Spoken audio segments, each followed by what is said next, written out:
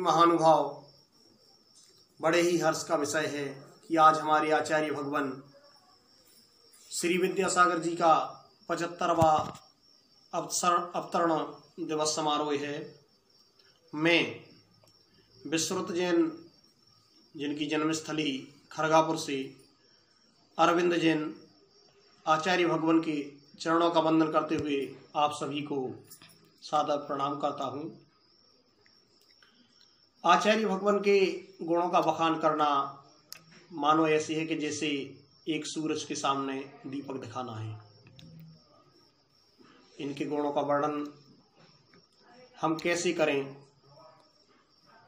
ऐसे समय में समस्त देश में एक अभियान चल रहा है, जो है बेटी बचाओ, बेटी पढ़ाओ।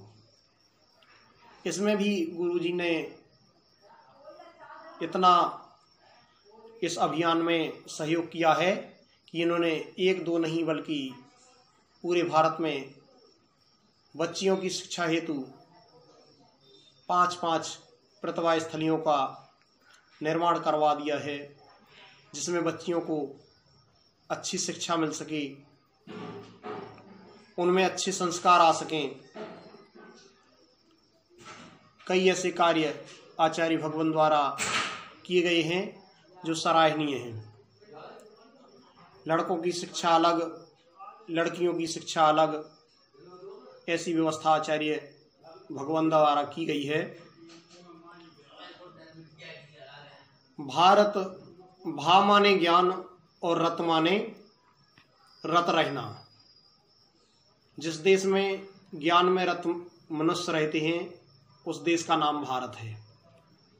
आचार्य भगवान द्वारा ये अभियान चलाया गया है कि भारत को इंडिया नहीं, अपितु भारत ही बोले। उनका कहना है कि जो सदियों से भारत नाम है, उसको भारत ही कहा जाए। और इनका ये अभियान भी बहुत हद तक सफल हो रहा है। आचार्य भगवान द्वारा जगह जगह हथकरघा प्रशिक्षण केंद्र खुल गए हैं। जिनमें श्रमदान द्वारा सूती कपड़ों का निर्माण हो रहा है। ऐसे ऐसे कार्य हमारे आचार्य भगवान द्वारा किए गए जो बहुत ही सराहनीय हैं। इतनी अवस्था में भी इस पंचम काल के ये देवता स्वरूप हैं। इनको हमारा सत सत नमन है। जिनमें श्रमदान द्वारा सूती कपड़ों का निर्माण हो रहा है।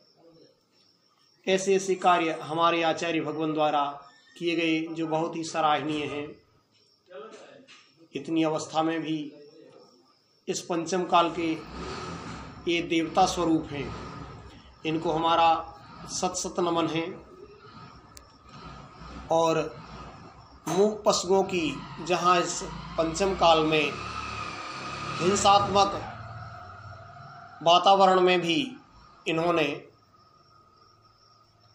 मूक पशुओं के लिए गौशाला का जगह जगह निर्माण करवाया है, जिसमें गायों की सेवा हो रही है और उनसे प्रदत्त दूध, घी, दही, जो अपने शरीर को पौष्टिक बनाए, ऐसी चीज़ों का उत्पादन होकर मनुष्य के स्वस्थ की रक्षा हेतु आचार्य श्री द्वारा प्रदान की जा रही है। ऐसे आचार्य भगवान के चरणों में कोटि कोटि नमन है। आज उनका पचहत्तरवा जन्मदिन है। ये भावना है कि उनका स्वस्थ ज़्यादा से ज़्यादा अच्छा रहे। इन्हीं भावनाओं के साथ सभी को सादर जय जिनेन्द्र। आचार्य भगवान को नमोस्तु भगवान नमोस्तु भगवान नमोस्तु भगवान।